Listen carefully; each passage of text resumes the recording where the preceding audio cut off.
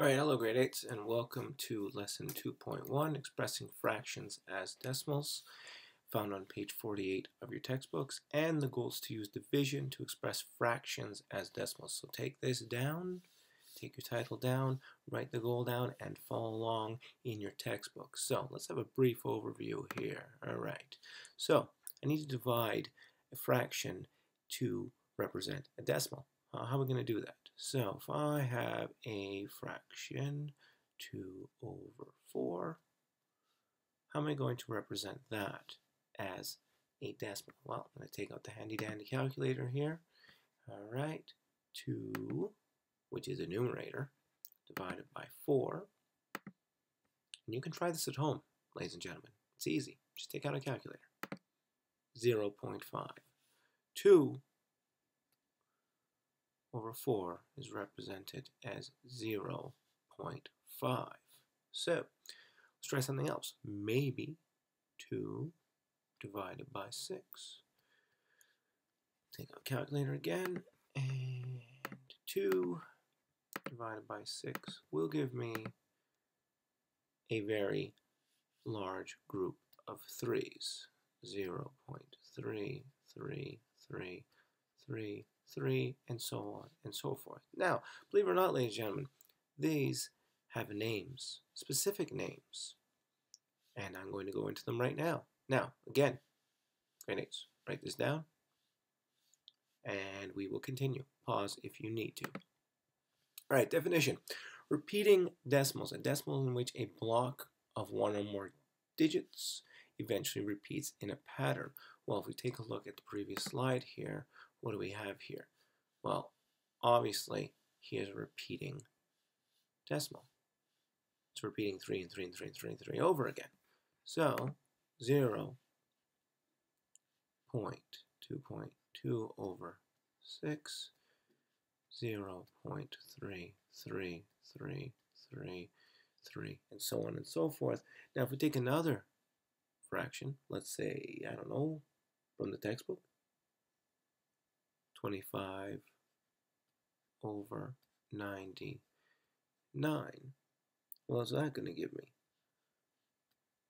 Let's try in the calculator. 25 divided by 99 will give me 0 0.252525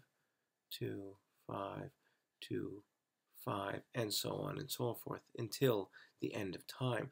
Now, since I have all of these decimal places, what am I going to do about this? Well, instead of writing the repeating digits over and over again, horizontal bar can be used to mark them. So, where's the pattern here? Where's the pattern? 1, 4, 3, 5, 1, 4, 1, 4, 3, 5. There's your pattern right there. So you'll write it like this. 1, 4, 3, 5. And instead of writing all this, all you're going to do is horizontal line. That's it. That's how you communicate a repeating decimal. Horizontal line over the pattern. So then we know that this is going to repeat. All right? Easy. Very simple. And if we take an example like 2 over 6. 2 over 6 gave us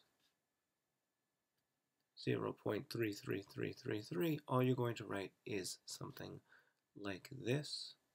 There you have it.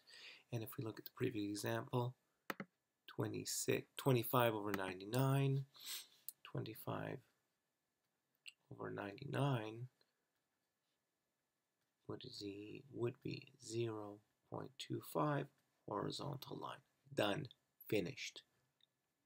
Write the examples down with the horizontal line and know that that is how you represent a repeating decimal. And finally, your friend in mind, the terminating decimal.